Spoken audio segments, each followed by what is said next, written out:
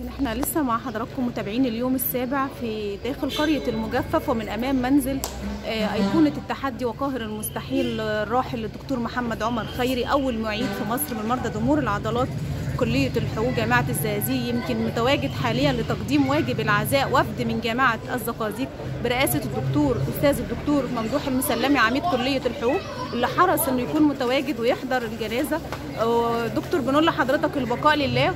وصادق تعزينا في اليوم السابع لأسرة كلية الحقوق بجامعة الزقازيق. يمكن حضرتك كنت من فترة قليلة متواجد في المقابر وقدمت واجب التعازي آه، للوالد والد الدكتور محمد عمر. ويمكن كمان الدكتور عثمان شعلان آه، الصبح قدم واجب التعازي للأسرة في المستشفى وأنهى بنفسه كافة الإجراءات.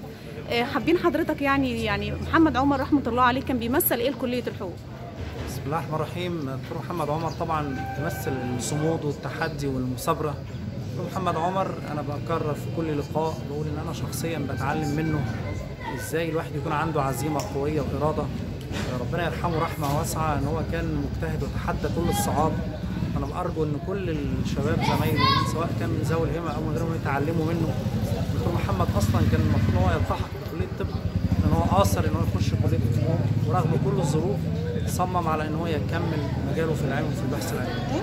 نسأل الله له الرحمة وأن يتغمده بفسيح جناته آه، هل ممكن نشوف خلال الأيام القادمة يعني إطلاق اسمه على أحد المدرجات بالكلية يعني تخليدا إن شاء الله لذكراه؟ طب طبعا يعني بس اسمحي لي أقول لحضرتك بدون مقاطعة إن إحنا دي فعلا إحنا ناويين كده. طبعا تكريما له دي أقل حاجة إن إحنا نقدمها له بإذن الله.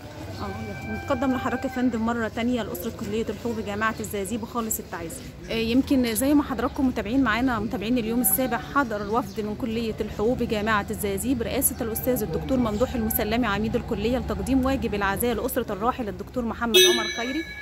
آه، ويمكن من شوية كان الدكتور ممدوح وإحنا بنتكلم معاه في اليوم السابع يعني إن شاء الله اكد إن خلال الفترة القادمة بإذن الله هيكون في الكليه بتدرس إطلاق اسم الراحل على أحد المدرجات العلمية تخليدا لذكراه نتقدم لحضراتكم مرة تانية بخالص التعازي في الراحل الدكتور محمد عمر ابن كلية الحقوق اللي كان مثال للتحدي وقهر المستحيل. شكرا يا فندم.